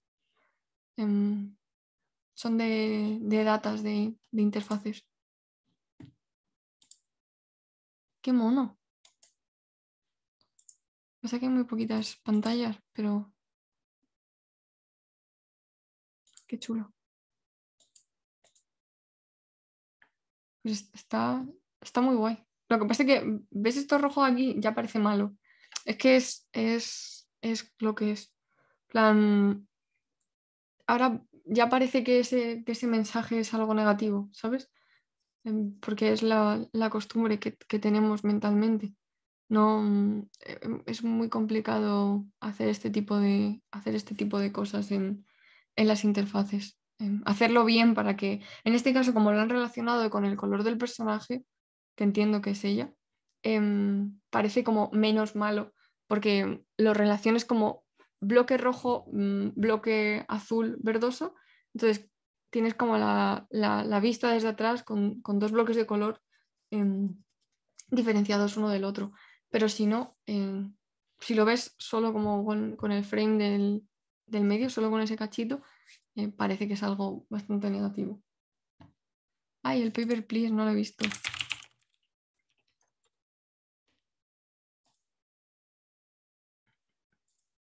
Paper please está muy bien, em, lo recomiendo. Está muy guay, sí. em, la interacción que tiene con la interfaz y, cómo te mueves y eso. Yo en general aplaudo eh, o me gustan mucho las interfaces que son muy, muy rápidas. eh, Me gusta que las ventanas cierren y, abran, no, muy locas, a no ser que el juego lo pida, pero, pero sí que sean bastante satisfactorias de interaccionar con ellas. Si no se vuelve, se vuelve un dolor de cabeza. Chulo, eso me lo voy a guardar. No sé qué he hecho con la presentación. La he perdido. Dame un segundo. Ah, buah, creo que la he perdido directamente. Espera que la vuelvo a.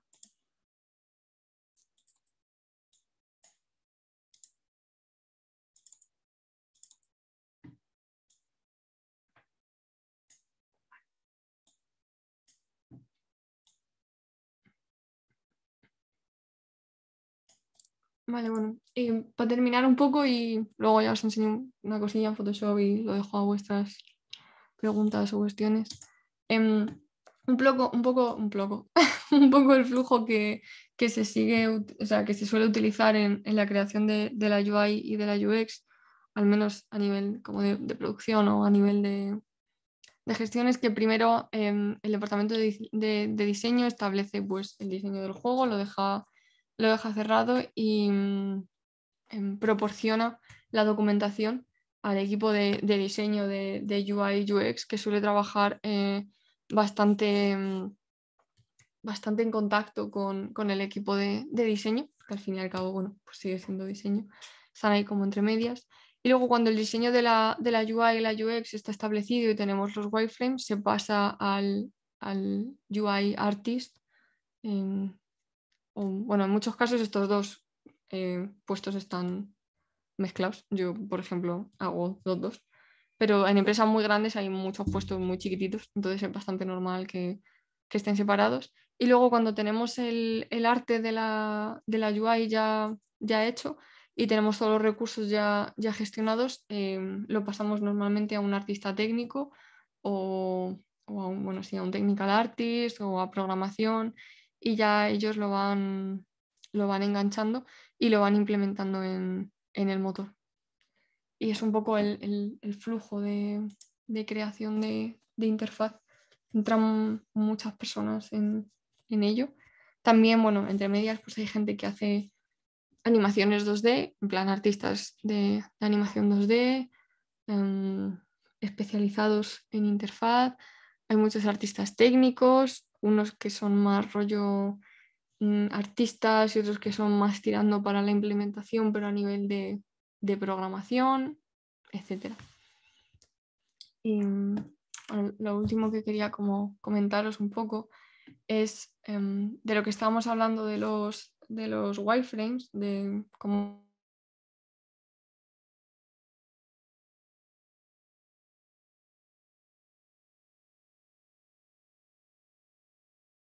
Se te ha vuelto a mutear. Sí, te has vuelto a... Es raro porque brilla, pero no coge el sonido. Le está troleando Zoom. ahora? Sí, ahora sí. Ahora sí, Ahora, ahora bueno. sí. volvió. ¿O se ha ido del todo? Se volvió, volvió.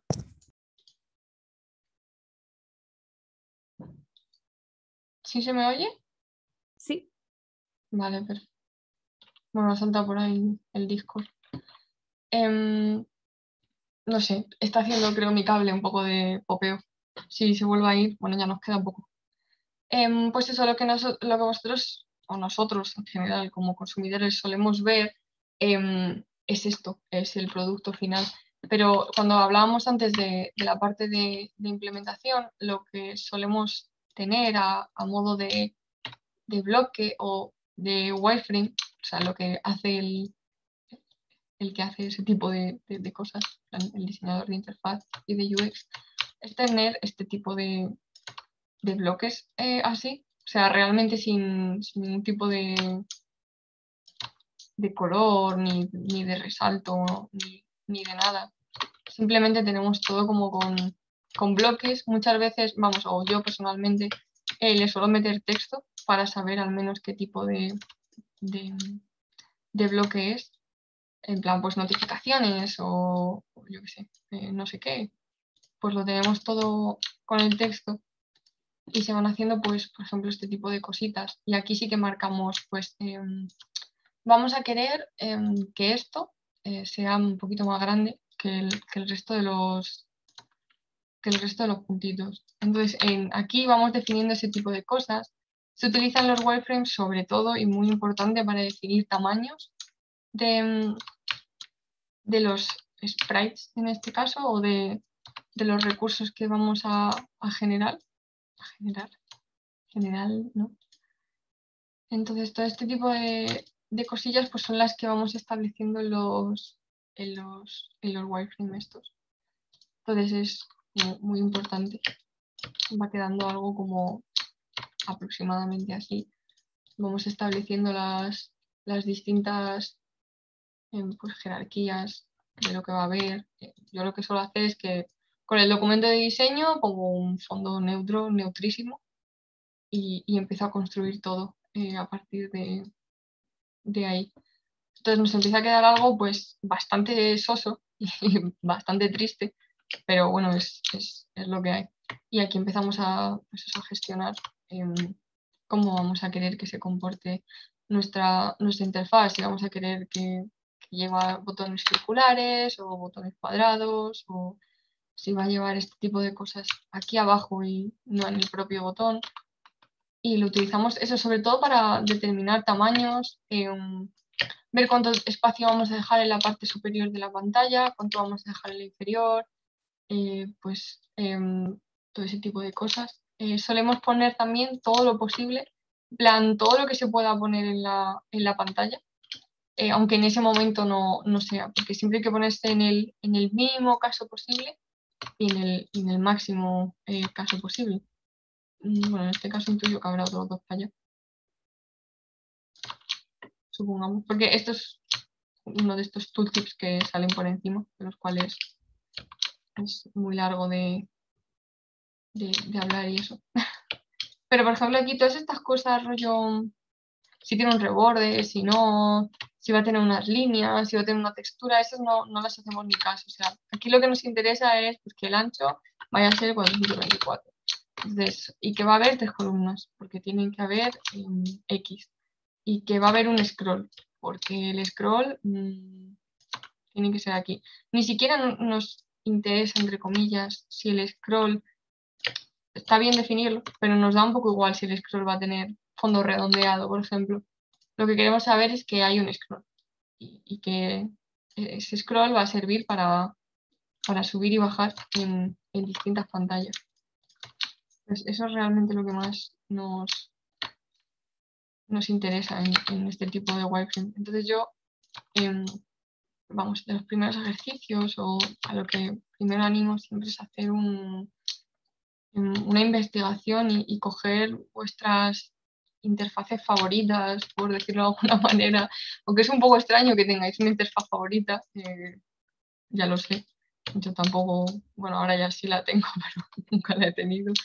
Em, pillar juegos que os molen y, y sacarles em, capturas, rollo, mm, y meterlas en, sacar las paletas de colores y de- establecer paletas de colores. O sea, eh, la interfaz al final, em, como el diseño, tienes que ver mucho, pero mucho, mucho, mucho, jugar a, muchas cosas y tener en cuenta los, los estándares, eh, en fin, un montonazo de, de cosas. Pero coger vuestras cosas como que os molen, que digáis, esto me gusta y ni siquiera sé muy bien por qué, y, y analizarlas. Eso es súper útil en, en cualquier cosa de, en general en la vida, pero en videojuegos sobre todo, el, saber por qué, te gusta una cosa o, pues qué bien lo hacen estos. O sea, es, es normal eh, no copiar, sino em, aprender. Eh, copiar para aprender está, está bien, en plan, a modo de práctica, de, de gente, que, gente que sabe em, hacer em, buenas, buenas paletas de colores o gente que sabe hacer, que coloca bien las tipografías. Las tipografías que nosotros usamos las han hecho tipógrafos que saben. O sea, yo si tuviera que hacer ahora mismo, construir de cero una tipografía, me quedaría un churro terrible. Eh, no tendría sentido porque no, no tengo capacidad ¿no? para hacerlo. Pero por eso, al igual que utilizamos tipografías que han hecho gente profesional, está bien utilizar em, recursos que, que ha hecho alguien eh, con conocimiento y con mucha experiencia. Entonces, digamos que esto sería el wireframe eh, con algún texto y demás. Y esto sería lo que le llegaría, quizá un poco más elaborado si, si pasa por alguien más entre medias. Esto sería lo que le llegaría con más información. Y mm, con la paleta de color y con la guía de estilo eh, al artista que tendría que empezar a plantear pues este tipo, este tipo de cosas en la interfaz. Y pues ya está, chicos. Os dejo este tiempo a preguntas que tengáis o cosas que queráis comentar.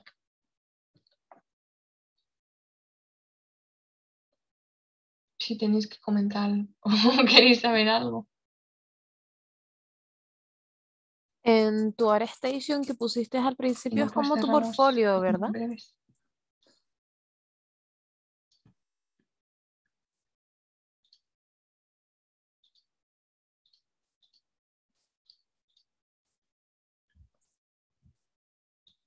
No sé si se me escuchó. Hola.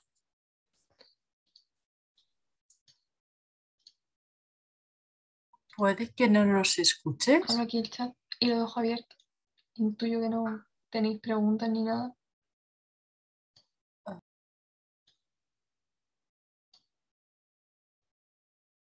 Que no escucho las micros. Hola, ¿me oyes ahora? No, o sea, yo no os oigo a vosotros, no sé si alguien está hablando.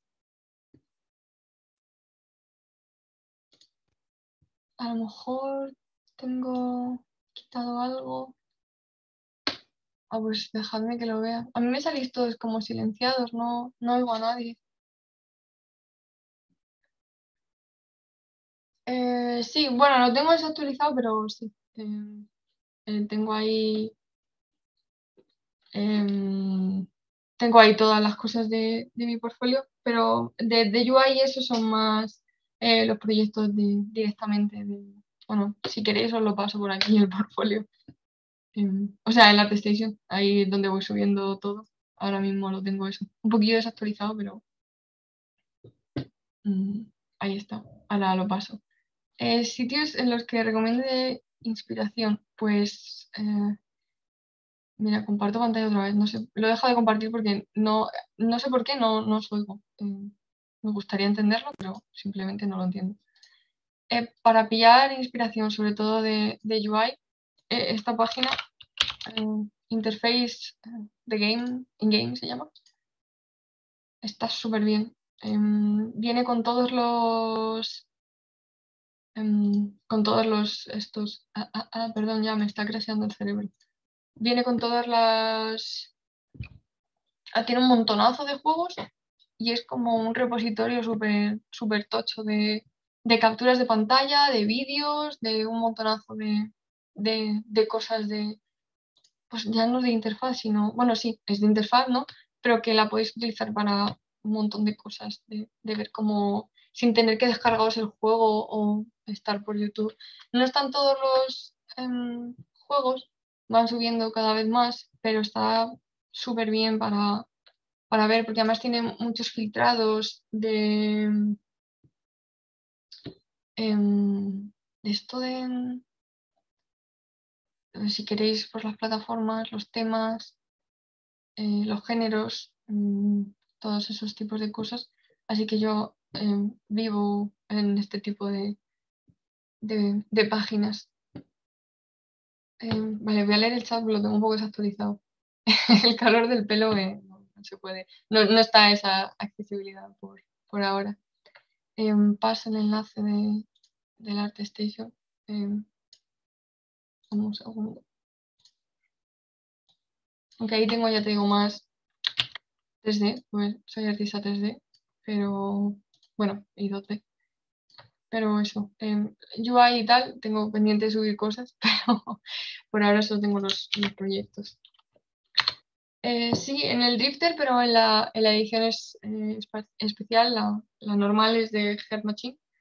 Y trabajé en, la especial, eh, sobre todo de ilustración y, de diseño gráfico, en, vamos, en la empresa que se encargó de publicarla, que es Abilite y estuvo súper, súper guay. Eh, o sea, no sé, eh, fue mucha responsabilidad porque es un juego muy guay y, muy tocho, pero la verdad es que me siento bastante agradecida de haber podido poner mi granito de arena en, en, esa edición, la verdad, y estuvo muy chulo.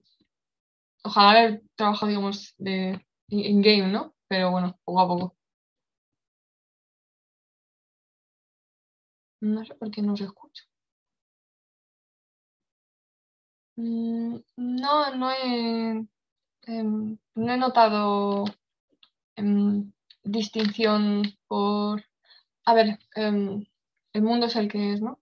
Y las cosas pues son las que, las que son. Pero no, he notado nunca distinción por, por, ser, por ser mujer. ni negativa ni, Em, no he notado discriminación ni negativa ni positiva, em, por lo menos por lo que llevo, pero conozco que, o sea, reconozco que, existe, pero no te diría que no te, no te preocupes por eso. Si, si tu trabajo si tu trabajo vale y, eres buena en, lo que haces, em, sí que es cierto que hay veces que hay que poner un poco más ponerse un poco más seria de lo normal para, poner un poco el pulso sobre la mesa, ¿no? Y, que te tengan respeto, pero no, no te preocupes eh, por ello. Además, últimamente hay una muy buena gran comunidad entre,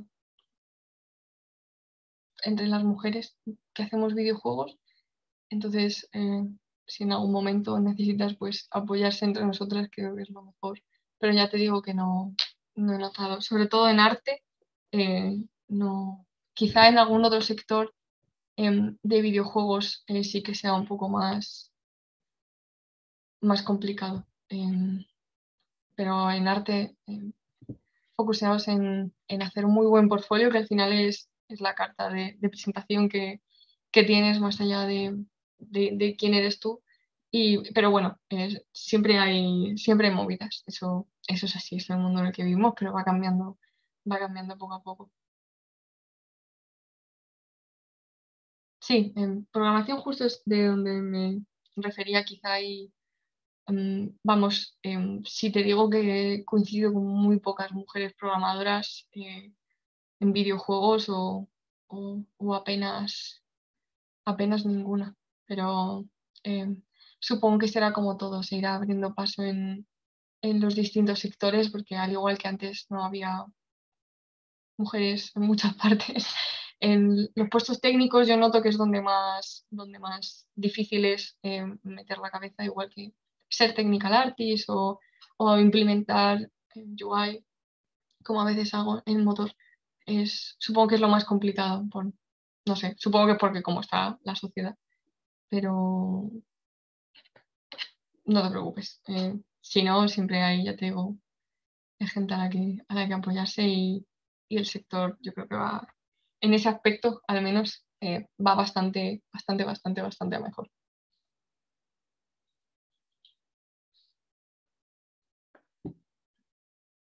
Dejar de compartir. Y nada, eh, si en algún momento tenéis alguna pregunta en la vida eh, para esculpir, eh, Hard Surface eh, utilizo 3D Max, em, orgánico ZBrush eh, y ahora he empezado con Blender, el cual os recomiendo porque creo que se va a hacer el estándar em, de aquí a unos años. Está muy bien. No creo que se pierdan los otros, pero está muy, es muy potente Blender. Tanto el render que tiene como, como la parte de, de esculpir orgánico Em, eh, está muy bien. Pero recomiendo, em, o sea, utilizar, utilizado sobre todo 3D Max y, y ZBrush. Porque utilicé Moodbox, pero eso ya, eso ya murió em, muchos, muchos años atrás.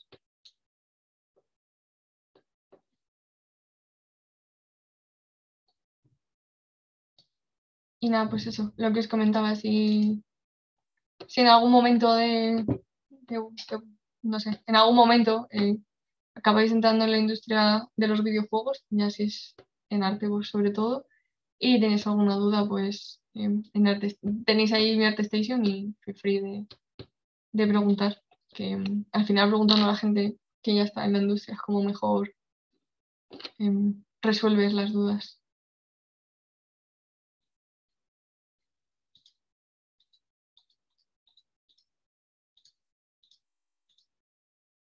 Así que nada, chicos, pues ha sido un placer. Eh, cualquier cosa ya os digo, por ahí tenéis una manera de contactarme y si no, seguro que Voxel os proporciona alguna. Y, y nada, pues buena tarde a todos.